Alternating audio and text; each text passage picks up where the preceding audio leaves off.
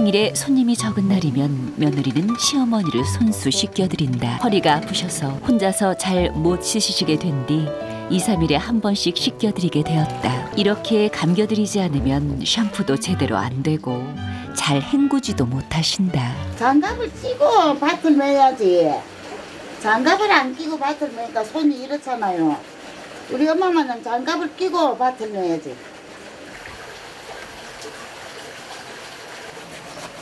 응?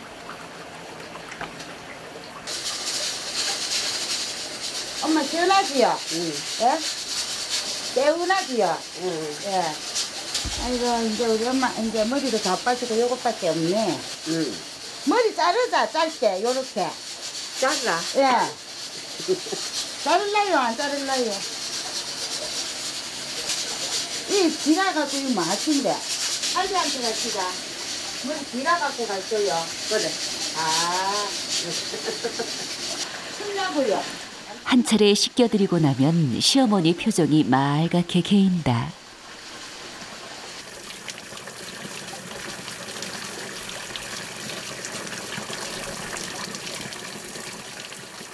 비가 한 차례 오고 난 뒤 사돈을 끌고 나온 친정엄마. 저 꼴탕 그쪽이라니까 거기는 내려가 가야지. 아 그러면 가만 있어봐 어디 간다고? 아이고, 막 미끄러진다, 막 방에 들어가라, 막 비 온다. 그거 뭐 여덟 개 있었는데 안 줬으면 어떡해? 뭔가 아? 뭐 가지 말지 그러면 뭐 응? 나는 말 어떤 일을 해야 돼 손님들이 버린 종이컵이 눈에 거슬려 사돈이랑 같이 주려 했던 친정엄마. 친정엄마는 딸이 말려 포기하고 돌아섰는데 정작 시어머니는 사돈의 부탁이 마음에 걸렸는지 계속 종이컵 주변을 맴도신다. 잠시 후 손에 뭔가를 잔뜩 들고 오신 시어머니. 소쿠리 안을 보니 종이컵이다. 비온 뒤 미끄러운 계곡. 그 위험천만한 길을 혼자 다녀오셨나 보다. 넘어지기라도 했으면 크게 다쳤을 터. 도대체 왜 그리 힘든 곳을 혼자 다녀오신 걸까? 사돈한테 뭔가를 보여주고 싶으셨던 걸까? 그 먹고 저거 좀 던져 그게 좋으래. 아유, 저 덩어리. 참. 엄마! 있는 데가 해놓고. 만다고 저 가지는 저렇게나 젖어가 와시고 그거를 말로 주스로 가라 해갖고는 엄마는 아유 내가 못 살아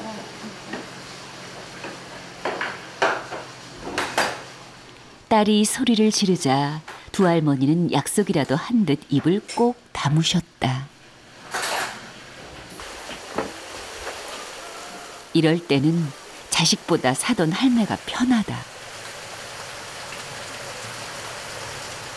노인네라고 가만히 앉아 있을 수만 있나.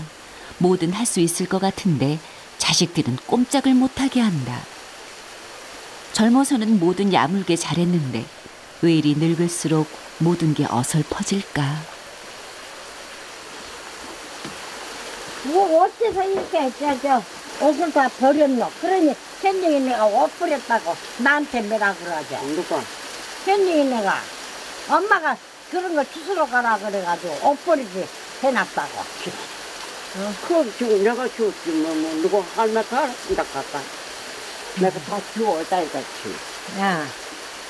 그래 봐 내일 모레 또 일요일 날이면 뭐 또 다 그럴 것만 일어서 봐. 비형 묻었는가. 뒤에 털을 쳐야 돼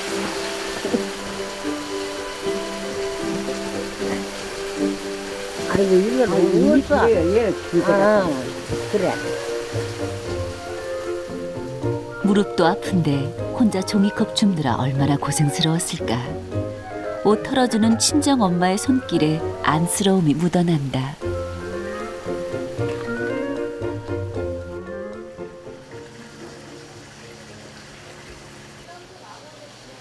점심 시간이 되자 부지런히 시어머니 점심을 준비하는 친정 엄마.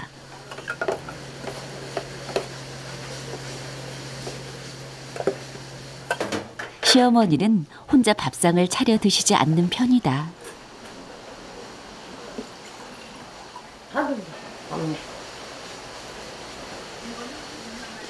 위장약을 먹는 것 때문에 같이 식사도 못하면서 친정엄마는 사돈 밥상을 살갑게 챙기셨다. 사돈 밥 적나? 어? 밥 적나?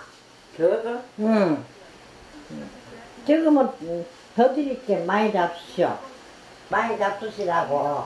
많이 먹어야 이거는 많이 응. 이럴 땐 사돈이 아니라 며느리가 따로 없다.